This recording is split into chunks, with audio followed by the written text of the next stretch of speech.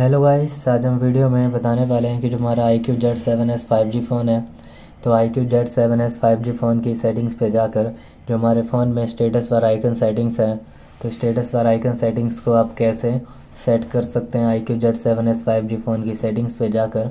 तो आज हम वीडियो में बताने वाले हैं कि स्टेटस वार आइकन सेटिंग्स को सेट कैसे करेंगे और शो कैसे करेंगे। तो वीडियो स्टार्ट करने से पहले हमारे चैनल को लाइक करें। सब्सक्राइब करें और साथ में बेल आइकन दबाना ना भूलें तो वीडियो स्टार्ट कर लेते हैं।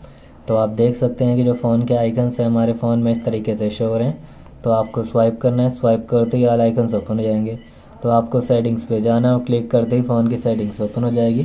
तो जो हमारे फ़ोन में स्टेटस वाला आइकन सेटिंग्स है तो स्टेटस वाला आइकन सेटिंग्स को आप सेट कैसे कर सकते हैं और कैसे आप स्टेटस वाला आइकन्स को शो कर सकते हैं अपने फ़ोन में। तो सिंपली सेटिंग शो हो रही है तो आपको सर्च करना है। स्टेटस वार तो स्टेटस वार आइकन सेटिंग्स आ जाएगी, जिसके ज़रिए स्टेटस वार आइकन्स को सेट कर सकते हैं। इसको ओपन करके आप जो भी आइकन्स होते हैं, इनको आप मतलब हाइड कर सकते हैं। कोई भी आइकन शो नहीं करेंगे। सिंपली आइकन्स पे क्लिक करते हैं तो आइकन स्टेटस बार पे शो हो जाते हैं। यहाँ से नेटवर्क स्पीड को भी ऑफ़ कर सकते हैं। कोई भी नेटवर्क स्पीड शो नहीं करेगी और ऑन करते तो शो हो जाती है।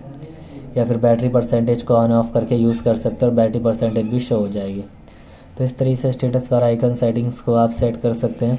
I Q Z seven S five G phone में उसका यूज़ भी कर सकते हैं। और आप देख सकते हैं कि आपके पास और भी ऑप्शंस मिल जाते हैं जिसका आप यूज़ कर सकते हैं।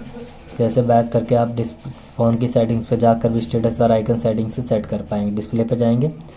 इस पर स्टेटस वार पे जाना और यहाँ से स्टेटस वाला आइकन सेटिंग्स को आप सेट करके यूज़ कर सकते हैं। तो आपको वीडियो अच्छी लगी तो लाइक एंड सब्सक्राइब करें। बेल आइकन दबाना ना भूलें। थैंक यू नेक्स्ट वीडियो के लिए इंतज़ार करें।